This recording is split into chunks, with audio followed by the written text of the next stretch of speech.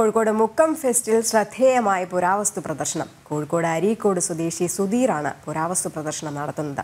പഴമയിലേക്ക് ഒരു വെളിച്ചം എന്ന സന്ദേശമുയർത്തി റാന്തൽ എന്ന പേരിലാണ് പ്രദർശനം.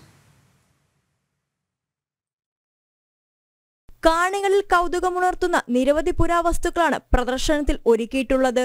ഇരുന്നൂറ്ററുപത്തിരണ്ട് വർഷം പഴക്കം ചെന്ന മുളയിൽ തീർത്ത ഡോക്യുമെന്റ് ഇരുപത് രൂപ മുതൽ ആയിരം രൂപ വരെയുള്ള ഇന്ത്യൻ നാണയങ്ങൾ ലോകത്തിലെ ഏറ്റവും വലുപ്പം കൂടിയ സ്റ്റാമ്പ് ഹാൻഡ്മെയ്ഡ് കറൻസി ഏറ്റവും വലിയ സംഖ്യ നോട്ട് പത്ത് ലക്ഷം രൂപയുടെ ഒറ്റ നാണയം തുടങ്ങിയവ പ്രദർശനത്തിലുണ്ട്.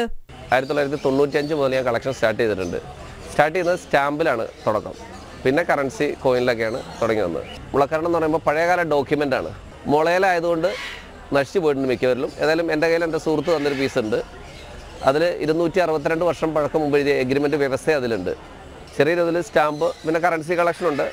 കോയിനിലാണെങ്കിൽ തന്നെ വലിയ ഹൈ ഡിനോമിനേഷൻ ആയിട്ടുള്ള പിന്നെ ലിറ പത്ത് ലക്ഷത്തിന്റെ ഒറ്റ ലിറേന്റെ കറൻസി കോയിനുണ്ട് കഴിഞ്ഞ രണ്ടു വർഷങ്ങളിലായി പുരാവസ്തു പ്രദർശനങ്ങളുമായി സുധീർ സജീവമാണ്.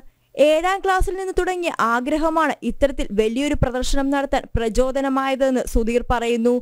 പഴമയെ ഓർമ്മിപ്പിക്കുന്ന വിധത്തിൽ പ്രദർശനത്തിൽ ഒരുക്കിയിട്ടുള്ള നിരവധി വസ്തുക്കൾ ശേഖരം ഫെസ്റ്റിന് മാറ്റുകൂട്ടുന്നു. ജനം കോഴിക്കോട്.